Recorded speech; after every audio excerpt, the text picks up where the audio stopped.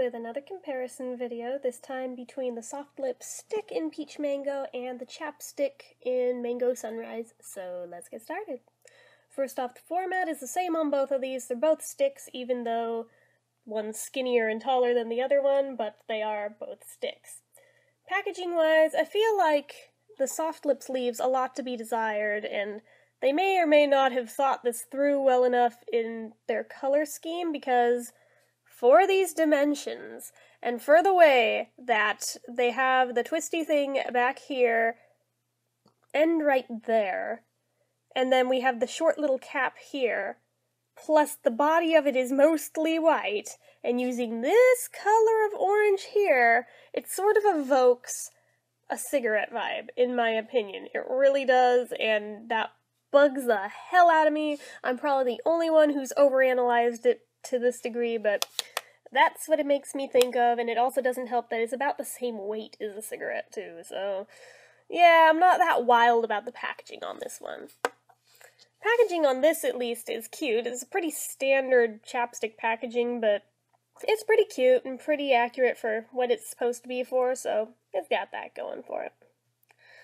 I don't believe either one of these are natural or organic. Um, this is, I think, the only one that's part of a limited edition set. This one, I think, is part of their permanent collection now, to the best of my knowledge, anyway.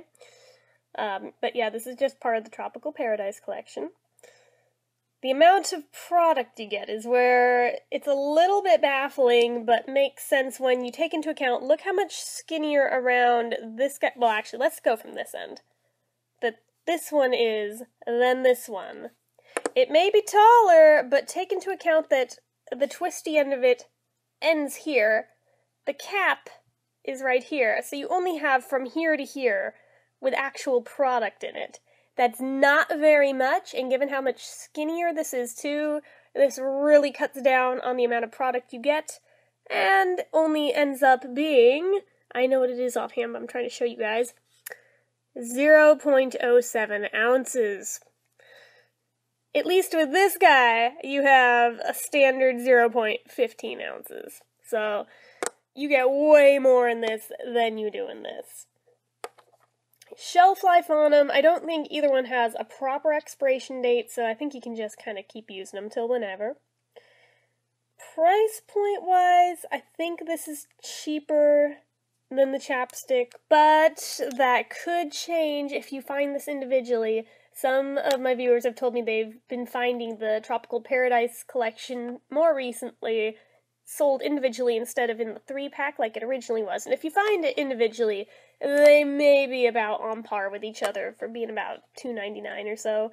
But yeah, just on its own, that's kind of pricey for this. And I think on their website it was even a little bit more than that, but I'm not positive. Don't quote me on that. I could be wrong there. It's been a while since I bought it.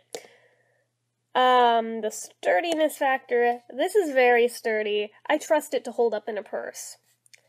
This I don't. This feels really flimsy back here, and I honestly thought I was about to break it when I first got it because for some unknown reason I thought this was the cap and this was the twisty end, but alas, no, this is your little turning wheel and that's your cap, and I damn near broke it, but it was wiggly like this from the get go. It's part of why I thought that was the cap. I thought it was gonna just pop off, uh, pop off real easy, but no, it didn't. So, yeah, this one's got an SPF 20 in it. This doesn't have any SPF in it.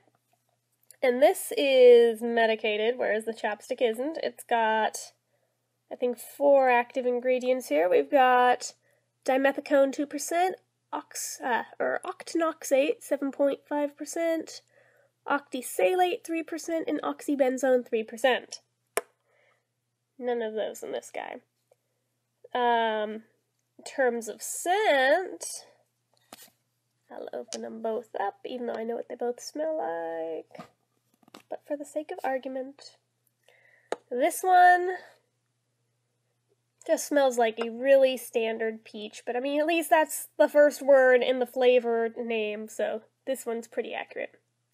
This one smells like orange juice. It does not smell like a mango to me. Sorry. I know, I say it every time, but it really just smells like actual orange juice. Color-wise, they both go on clear, but the color of the wax is different. This one is sort of a pale orange, and this is like a natural white. And it does give you a hint about the shiny factor, even just looking at them in the light, of that this is super shiny and this is pretty dull to look at. Flavor-wise, um, this actually does have a little bit of a very, very subtle hint of peach to it when it's on your lips. This one, I haven't really noticed any flavor with, but that could be me. Um, consistency wise, this is thicker than this by a landslide. Even though it's not a particularly thick lip balm in and of itself, I would consider this to be a medium thickness, whereas this is a very thin thickness. It's almost watery in its consistency. Not quite, but it's very thin, it's very lightweight on your lips. It almost feels like water. You almost forget it's there, except that it is a bit greasy, so you don't forget it's there because of that. This is also greasy, but it's thicker and feels like it stays on your lips better for that. Moisturization wise, I feel like this does a little bit better of a job than the chapstick, but it's pretty equitable.